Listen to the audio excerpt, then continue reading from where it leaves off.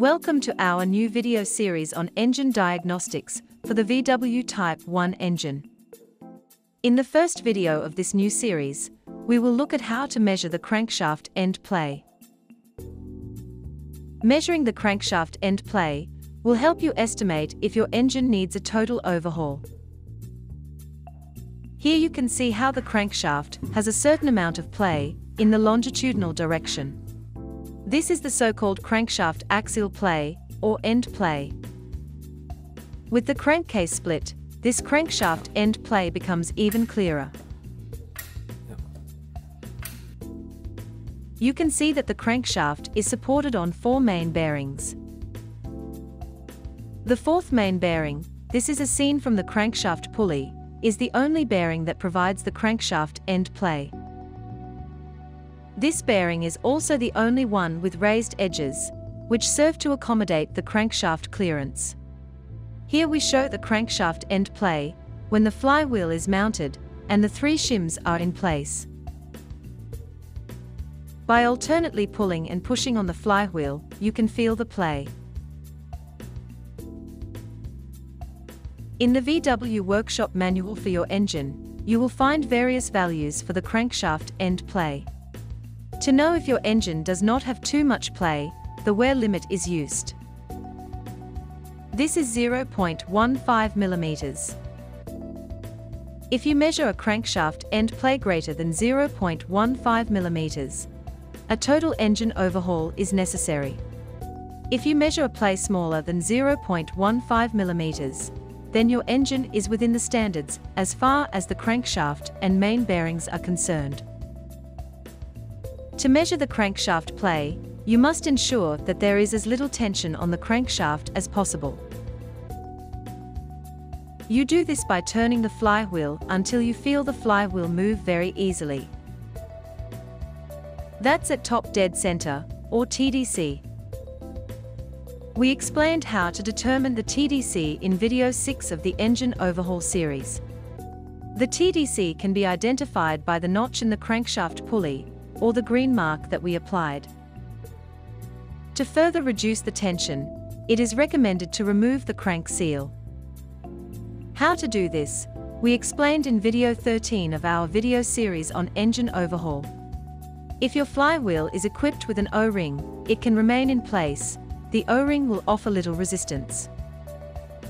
If your engine is equipped with a paper or metal gasket, you must ensure that it is in place. This gasket has namely influence on the crankshaft end play. Behind the crank seal are the shims, or spacer rings, that are used to adjust the crankshaft end play during the engine overhaul. There are always three of them on a VW Type 1 engine. We will measure these shims and note the values in our notebook. You can do this with a caliper or a micrometer. A caliper is a little less precise, but for this application it is not important. The shims are supplied in fixed sizes of 0.24, 0.30, 0.32, 0.34 and 0.36 millimeters. With a combination of these shims, the crankshaft end play is adjusted during the total overhaul of the engine. Here we show how to measure the shims of our AB1300 engine with a micrometer. Our engine has two shims of 0.24 mm and one of 0.30 mm. Make sure the shims are clean, that they are not damaged or show signs of corrosion. If they are, it is better to replace them with new shims, with the same dimensions. We reinstall the three shims on the crankshaft for measuring the crankshaft end play. Next, install the flywheel. You should not torque the gland nut. Just tighten firmly with a 36mm socket wrench is sufficient. The flywheel lock tool will be needed to tighten the gland nut.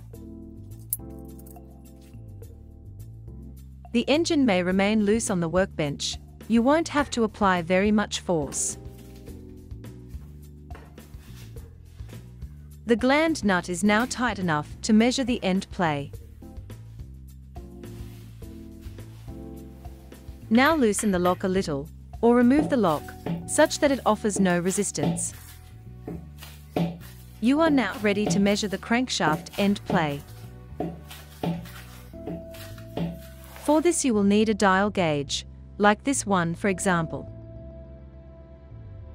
In order to perform the measurement, you will need to attach the dial gauge with, for example, a magnetic stand. We'll start with this standard magnetic stand, which you can buy in specialized stores. Place the magnetic base on the flywheel, as we show here. Lock by activating the magnet in the base. Adjust the movable arm of the base so that the measuring plunger of the dial gauge pushes against the engine crankcase.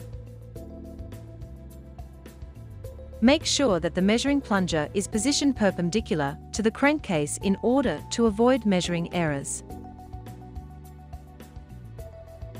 Take the necessary time for the dial gauge to press firmly against the crankcase.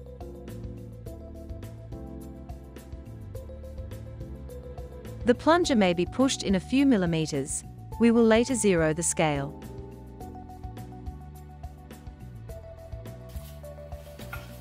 Pull the flywheel away from the crankcase. In this position, set the scale to zero.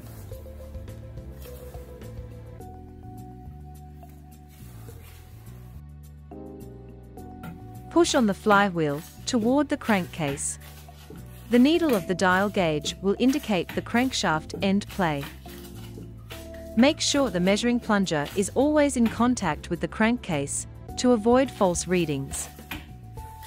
Pull and push the flywheel several times to confirm the reading. If the needle were to rotate all the way around, the distance traveled will be equal to 1 millimeter. For this type of measurement, the needle will never go beyond half of a rotation. The small needle of the dial is of no importance for this measurement.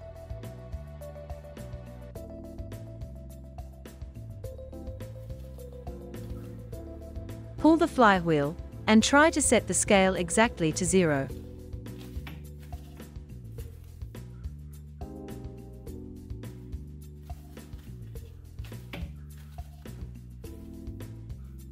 With the initial position exactly at zero, we measure an crankshaft end play of 0.27 mm. As mentioned earlier, the wear limit is 0.15 mm, so this engine needs a total engine overhaul.